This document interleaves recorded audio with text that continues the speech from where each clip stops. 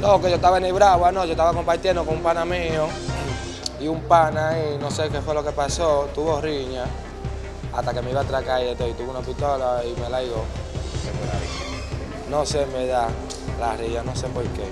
Pero él me estaba leyendo tiros, hasta me pegó uno en un pie.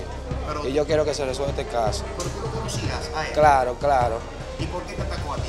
No sé, no sé, riña de ellos mismos. ¿Cuántos disparos? Él tiró tres y además me pegó uno. Compartían juntos. Sí, eran amiguitos antes, tú sabes, de infancia. Pero que tuvo problemas con otra persona que andaba contigo era. Él tuvo problemas con el pana mío que él quería darle, tú sabes. ¿Por qué? Por eso mismo la vaina de mujeres. Entonces, ¿qué pasó ahí? ¿Qué te dijo él? Nada, él lo que intentó, pum, y me tiró los tres. Y el último fue que me, vino- me vino a pegar. ¿Y cómo se llama esa persona? Se llama Cribonilla. Y, y el, el otro amigo es el Tinto, ¿De dónde escribe?